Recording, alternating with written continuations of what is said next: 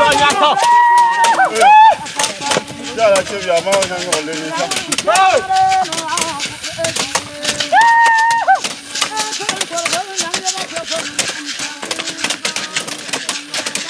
Hừ hừ.